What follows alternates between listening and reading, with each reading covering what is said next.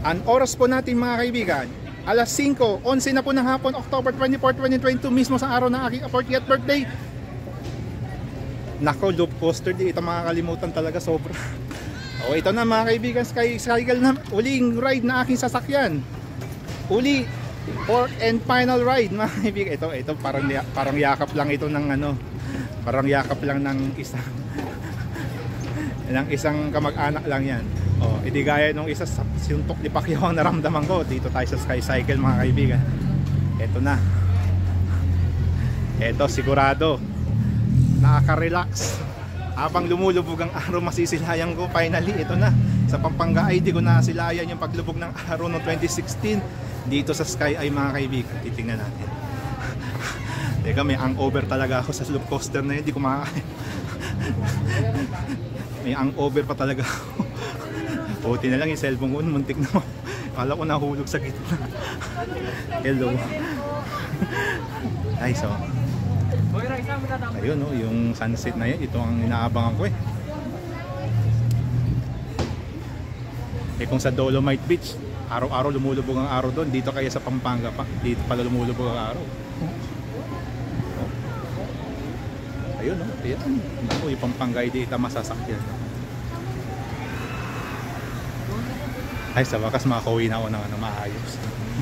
Buti na lang yung ano yung libreng sakay sa EDSA nako kung, di, kung wala nun hindi, hindi ako makakabalik rito mga kaibigan nako. Walang monumento libreng sakay wow. Salamat pala kay President Bongbong Marcos ha. Inextend hanggang December 31 ang ano libreng sakay ng carousel bus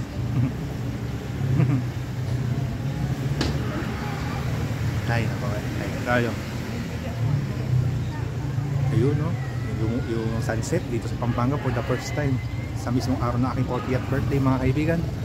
Ayan no?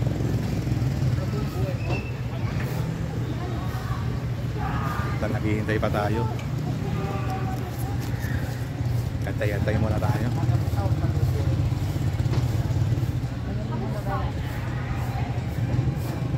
ano na kaya nangyari doon sa anim na babae doon doon taga SM na yung taga yung mga empleyado ng SM yung yung anim na babae na yung isa si Rosel nagse-celebrate ng birthday. Kasabay ko pa. Swerte na na. Yun ang gusto kong mga joke yung mga walang script. Simula pa lang natatawa na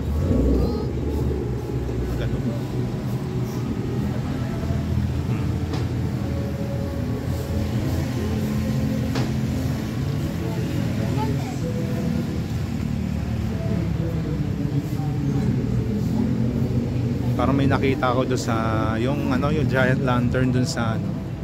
Hindi ko alam kung mayroong ano doon ha? Yan sa nilakad ko kaninang umaga titingnan natin mamaya kung ano yung meron doon sa baba. Doon sa nilakad ko kanina papunta rito sa Sky Ranch Pampa. Mamaya abangan natin at titignan natin kung ano meron doon pagbalik ko sa bus terminal ng Victory mamaya Oh,